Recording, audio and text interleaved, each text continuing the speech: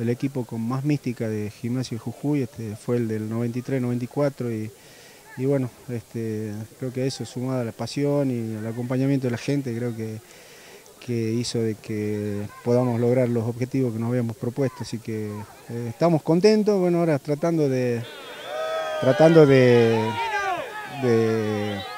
que Raúl y el huevo vayan al asado, un rato aunque sea, y este, bueno, ya Raúl nos dijo que para el año, los 25 años, se va a encargar él de organizarlo y quieren que estén todos. Así que... ¿Y va a ser en el 23 de agosto?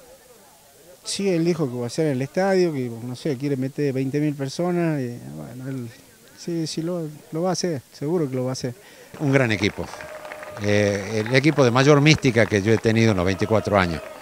Hemos sido punteros 42 fechas desde la primera fecha y, ese Dale Lobo que baja a las tribunas, ¿te acordás? El ascenso a Primera División, campeón en la B Nacional. Exacto, extraordinario. Y bueno, un equipo con, un, con unos jugadores de una calidad excepcional.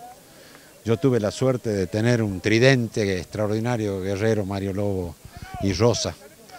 Eh, con el perdón de los demás, pero era, era fantástico eso. Y lo veíamos en todos los partidos.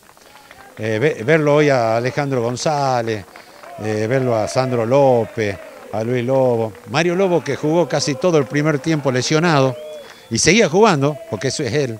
Recién hemos hecho un compromiso con los jugadores, que el, año que viene, cuando se cumplan los 25 de años, eh, de esto vamos a hacer un gran festejo.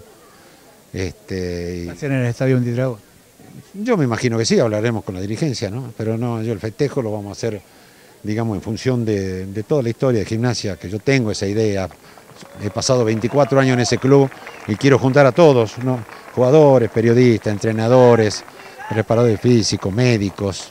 Mucha gente. Muchas, muchas, 300 personas un listado, un listado que yo tengo.